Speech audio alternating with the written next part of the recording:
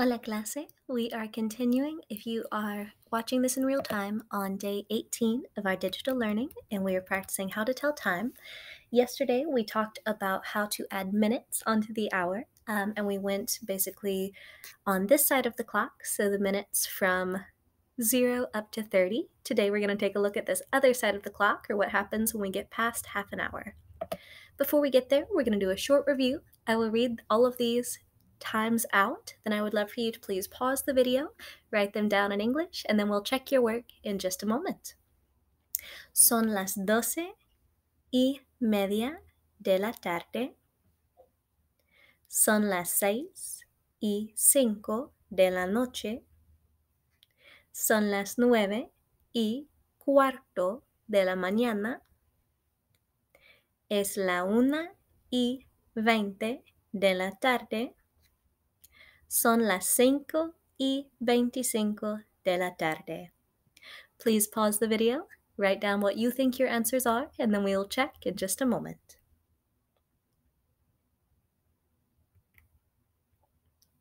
All right, son las doce y media de la tarde, 12.30 p.m. or in the afternoon. Son las seis y cinco de la noche, 6.05 p.m. or in the evening. Son las nueve y cuarto de la mañana, remembering that cuarto is a quarter, 15 minutes, a quarter of an hour, 9.15 a.m. Es la una y veinte de la tarde, it's 1.20 p.m. Son las cinco y veinticinco de la tarde, it's 5.25 in the afternoon. All right, important thing to remember today is that 60 minutos iguala una hora, or 60 minutes equals one hour. We want to hold on to this because we are going to be doing a little bit of subtraction today.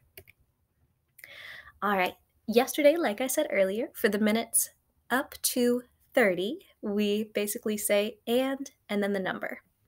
So when we get past 30, past y media on the clock, we do some subtraction from 60 because, remind me, how many minutes are in an hour? 60 or 60. In English, when we're on this half of the clock, we would say 2:50 p.m. Literally, we would say it's 2 hours and 50 minutes in the afternoon.